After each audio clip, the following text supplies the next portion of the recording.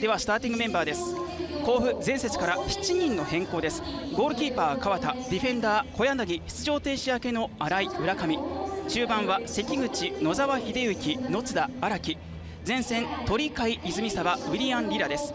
代わってアウェイの群馬です。前節からこちら1人のみの変更です。ゴールキーパー松原。ディフェンダー金城渡辺畑尾久保田。そしてボランチは奥村と中山のコンビ。サイドは右に内田左に田中。ツートップは北川と大前です。中にはリラ鳥海が入ってきます。泉さんのクロス上げさせません。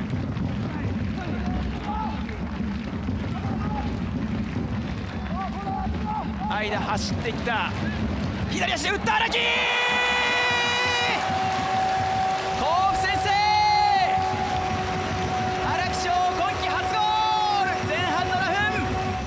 もう泉沢のところで2枚食いついていた。でタイミングよくね荒木が入ってきたんですよね。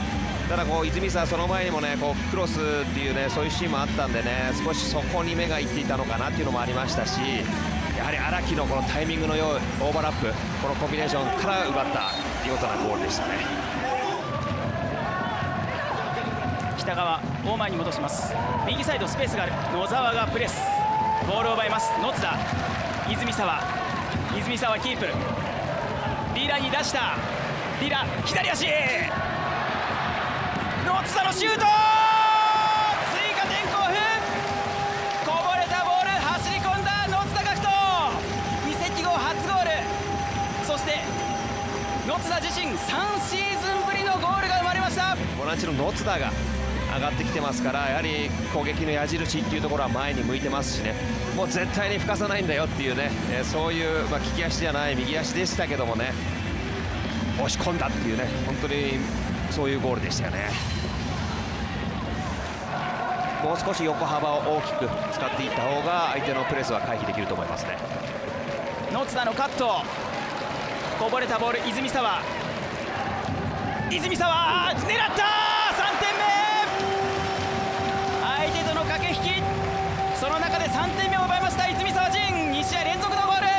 まずここの野津田のあプレスですよね、そこから泉沢のところにボールが転がってきた、で抜き切らずに、もうキーパーと、そしてディフェンスとの距離を見計らってね、あもうここはシュートだなと、渡辺が来ないって思いきや、もう素早くね、しっかりとしたコントロールシュートでね、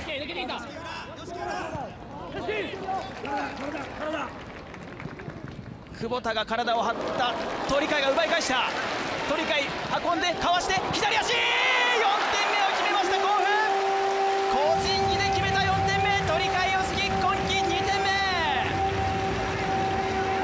あ、まずここですよね、久保田が体入れたんですけどもね、うまくこう奪い取った、でその後が冷静ですよね、えーまあ、タックル、スライディングが来るというのを予測してね、ボールを置いてますよね、で最後はもう松原のポジション。で、股の下っていうところはね、えーうまく狙った、いや鳥海らしいゴールじゃないですかね。吉田がスペース作って北川うまいですよね、今、内田が開けたスペース使いましたよ、北そして大前ノーファウルです。左サイド泉沢。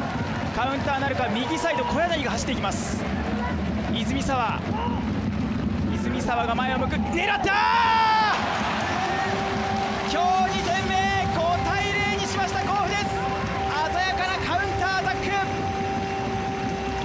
渡辺もどっちに来るんだっていうのが分からなくて、ね、背中向けてしまいましたからね。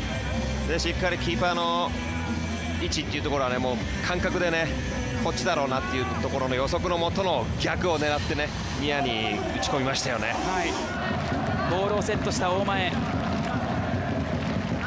まあ、大前については甲府伊藤明監督2017年に大宮時代指揮していましたのでその精度の高さ知っていると話します。コーナーすらしたボール川田パンチング !1 点を返した群馬です。川田の弾いたボール最後詰めたのは白石。でしっかりここニアで触ってる。でこぼれに対しても、えー白石詰めていた、まあ、これこぼれなくてもねファーサイドには白石流れようよっていう。でニアで流してファーサイドで決めようっていうそういう狙いの元のコーナーだと思うんですけどもね。しっかりとした、まあ、デザインされたコーナーで受け渡して次また前にランニングできるっていうねそういう強みもありますよね、えー、相手にとっては怖い存在ですよね、は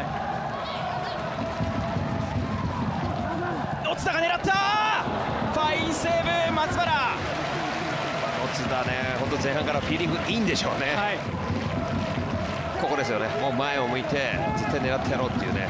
そういうボールの置き方してますから、はい、田中岩上。浮き球左サイド。高橋。中山からのワンタッチクロス高井が飛び込んだ。ポストです。いや完全に崩しましたよね、はい、もうここですよね。このシーンでは田中走り出してましたからね、はい、あとは決めるだけっていうところでしたけども少しこうマイナス面で捉えることができなかったのかなっていう感じしますけどもね。ワンタッチバイヤー。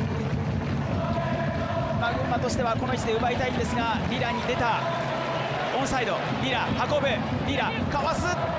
折り返した。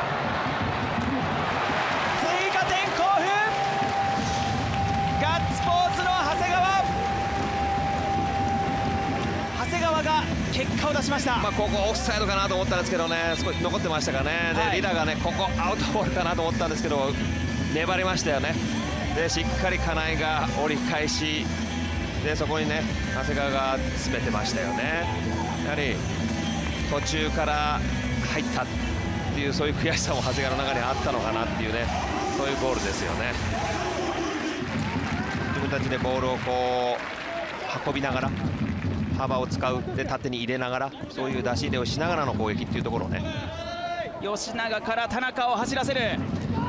オンサイド。中には2人。クロス。お前